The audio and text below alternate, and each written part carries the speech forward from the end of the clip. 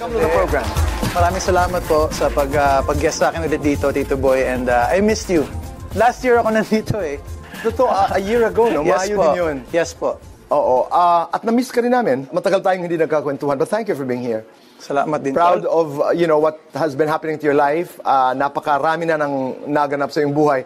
But something happened uh, last Christmas. Yes. Na-aksidente ka. What happened? After nang namin mag Noche Buena, nahatid ko na yung, ah, yung girlfriend ko pa uwi. And then, yung sinakyan naming ah, Uber, um, I guess antok po siya or baka nakainom.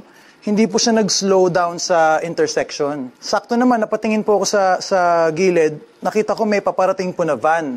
So nakasigaw pa ako, nakakapit pa ako sa, sa hawakan. Sabi ko, kuya, kuya, may parating na van na naabutan po kami sa rear end ng kotse. So ah, tumama yung ulo ko sa salamin, nabasag yung salamin. And yun, ah, ang bilis, ang bilis Did you lose pangyayari. consciousness?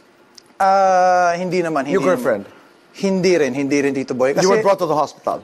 Yes, nagpanik kami kasi Tito Boy, hindi ko naramdaman. Pag pag tama ng ulo ko sa salamin, ang ang una kong naging ah, reaction is tiningnan ko siya kung okay siya. Siya nakatingin din siya sa akin.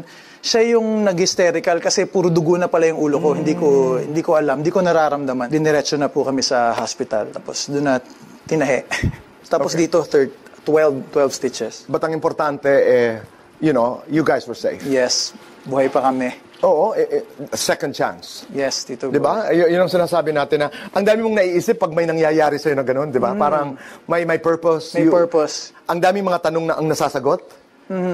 Ah, isa ba dun sa mga tanong ang this must be the girl I I I, I should marry? I believe so. Kasi, May ganun, di ba? Kasi parang napaka, kumbaga, sa aksidente, magkasama rin kami nangyari yung aksidente. So, ah, siguro bukod sa... Christmas. Bukod sa iba pang, tapos Christmas pa, actually bukod pa sa, sa love life, parang na-realize ko na, na grabe yung pagmamahal sa amin ng Diyos. Kasi, pag sineselebrate natin yung Christmas, parang birthday celebration po niya eh. Tama. So parang I pictured it as wait lang, birthday celebration niya, pero he went out of his way to save us.